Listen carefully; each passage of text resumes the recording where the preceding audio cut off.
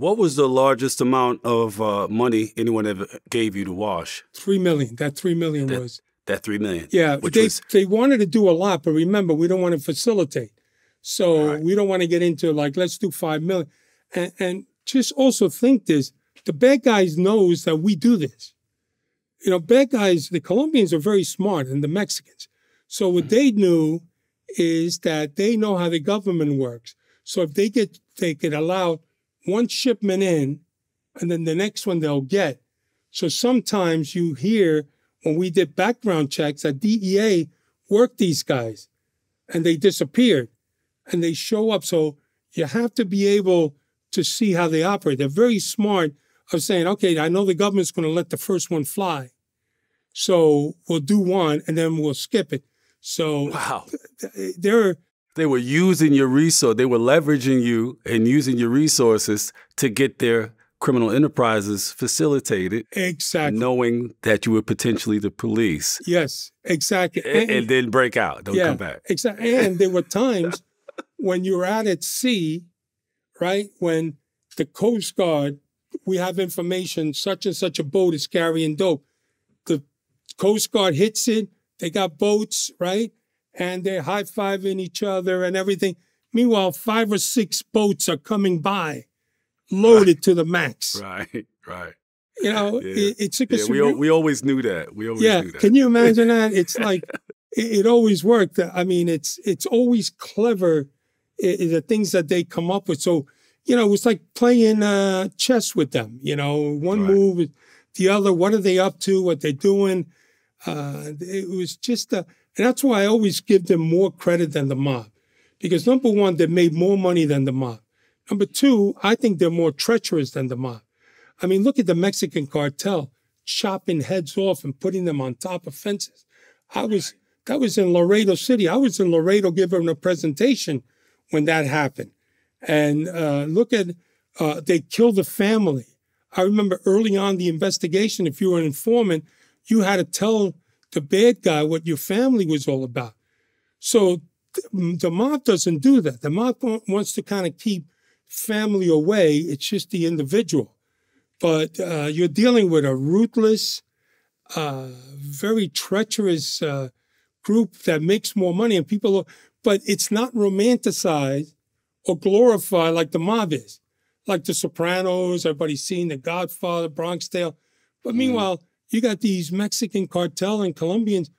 They're just they, they just could take them and destroy them if they want to. I remember Right. had guys following the mob guys.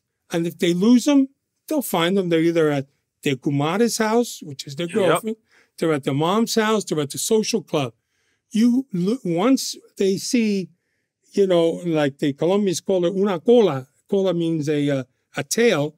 Once they see the cola, they disappear into the wind, and they Right. either go to California. They get a rain, range some new set of IDs and go. Very clever because you know Um, there's another paragraph in your book that goes, "We had seized well over three million dollars in drug proceeds. Since we were working with the New York City police on that case, they got ten or twenty percent of the money. That's how. That's the way it works." Can you tell us how the confiscated cash is shared between the law enforcement agencies? it's an incentive that we give to to the uh, PD. They work hand in hand with us. Once they are cleared in the FBI, they have access to wherever in the FBI. And what it works out that it's called a DAG, I think, uh, memory serves me, is that they can put in for a percentage of the seizure, and that the NYPD gets it. We in the FBI don't get that money that money goes into the fund, that government GSA fund. So we never see that. So the PD guys are the ones that look like rock stars because they go back to their chiefs and the commissioner. And look what I did for the NYPD. We bought a couple of million, you know, and we did that with all the cases. They uh, always got a part of our money, and it's something that's agreed to in a memorandum of understanding. But that in itself kept in mind that we were the lead agency, no matter what. So if we came into dispute, uh, we would always win because we're the guys who giving you the car, the overtime, and this dag. I mean, and but the PD was very, you know, happy with. Uh, we had another mob case with the PD where uh, this great detective, um, uh, D. Christina, we used to call him D, post with this big cartel guy. They seized all kinds of money, and he wound up looking like a rock star. But meantime, he didn't get anything for that. Not not any special award or anything by the NYPD uh, for obtaining such a large cash thing for the uh, for the NYPD. It's just something that goes. It didn't bother us because we knew that we weren't getting it anyway. So if they were able to get new cars and new overtime, God bless them. Amado Carrillo Fuentes, you your team seized 11 million in cash from him, 7.4 tons of cocaine, and 2,400 pounds of marijuana. Yeah. Who was he, and and what what do you believe ultimately happened to him? Well, I never met him, of course, because usually you meet to sell his representatives that mm-hmm. you deal with. But uh, my understanding, he was a, a ruthless uh, uh, leader, but also one that I believe got a plastic surgery uh, to change his look, but the plastic surgery went bad and he died. And the mob wound up killing the, the Mexican mob, killed the doctors who did it. He was trying to change his appearances, I guess, with all the money that he had. Mm-hmm. So, so if if it failed, um, then why would they kill the uh, all the doctors that were involved? Like that seems like something more so to keep them from telling anybody what the result of their work well, was. That was one, but also the fact that they did a botched up job. The guy died from a result of it, so they mm. killed. They don't. They these drug dealers are sicarios. You know, mm-hmm. they they just don't care. They just like killing people. You know, it's uh, it's where they got their jollies. They dealing with them is very dangerous. And uh, just like the movie Sicarios, I don't know if you've seen those. Mm-hmm. Yep, of course. You know, it's kind of like that. Benicio del Toro, and uh, they're ruthless people. But originally, I thought they killed him, like you said before, because nobody. And I could be wrong because again, I never dealt with him, but I do know there was plastic surgery done and as a result of it, either maybe before or after are you aware of anything about that at all? The Amado? I mean, you know, there's always been the rumor that um, they swapped out someone else and that it was never really his intention to get the surgery. They just made it look like it was him getting surgery and then faked his death. They, at some point, I guess somebody figured it would be easier for him to fake his death and get a new identity and just disappear somewhere rather than actually subject himself to being um, cut up and stuff like that. And then had the healing time, and then these people still knew who he was. They still had to die.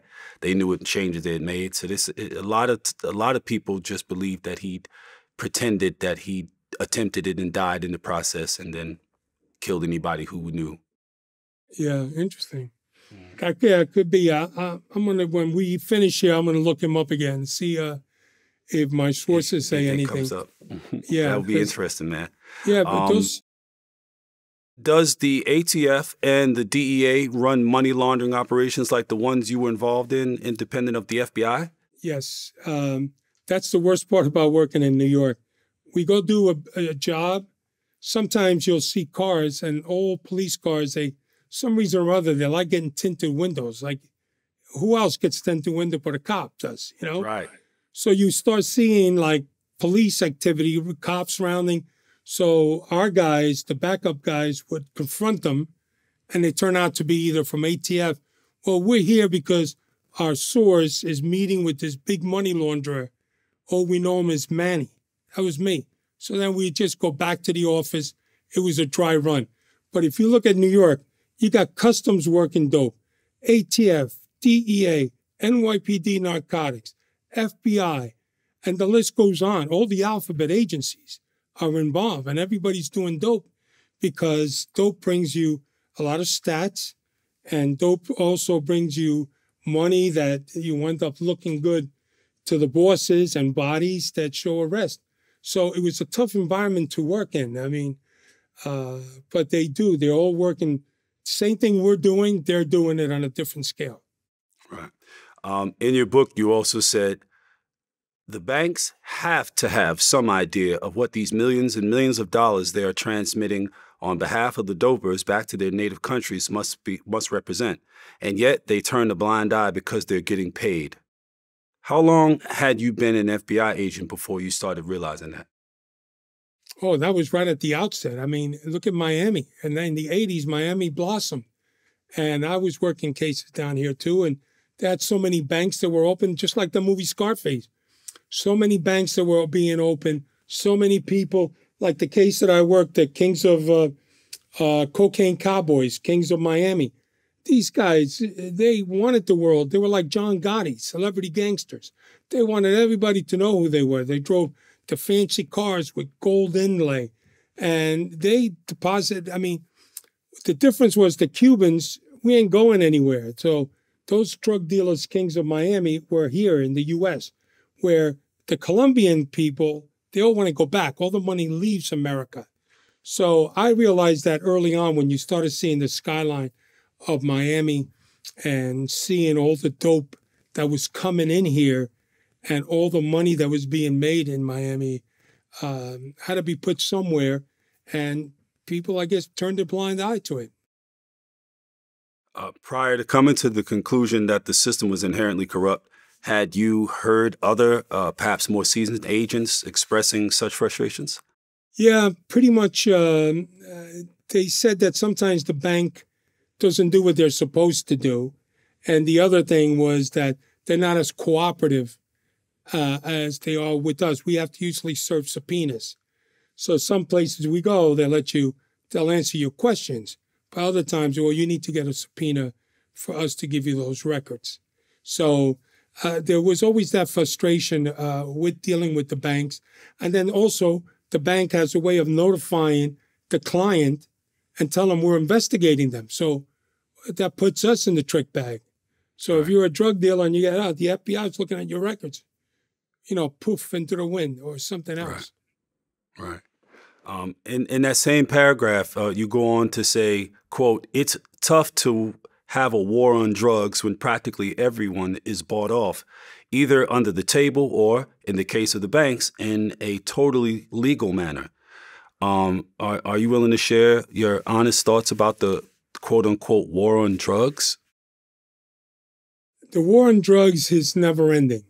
Uh, I, I, really believe that. I, and you're probably going to laugh. I think the best thing that ever happened, but unfortunately it didn't catch on, is when uh, Mrs. Reagan said, We have to teach our kids to say no to drugs. Mm. And if you get them at an early age, where they learn about drugs, they learn all about what it could do, what it has done. As they grow, maybe they won't be involved in it.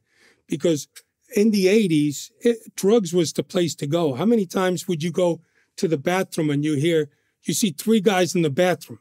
Oh, well, you know, you're saying, what the heck's going on in, in there? Stall. Yeah. The guys come out, they all got their noses all blown, they're talking to you like, you know, stoned out of their mind. They're taking the little tube. It, the war on drugs just we couldn't beat. And then you know uh, there was also the problems with the in um, in Nicaragua with the Sandinistas and the dope coming in where traded for weapons. You know, started getting on that political part of it, uh, and it brought a lot of people and it destroyed a lot of people. Uh, I mean, I known friends of mine that I played football with who have been totally destroyed. They were very well to do, and now they have nothing because they had this addiction to uh, to cocaine.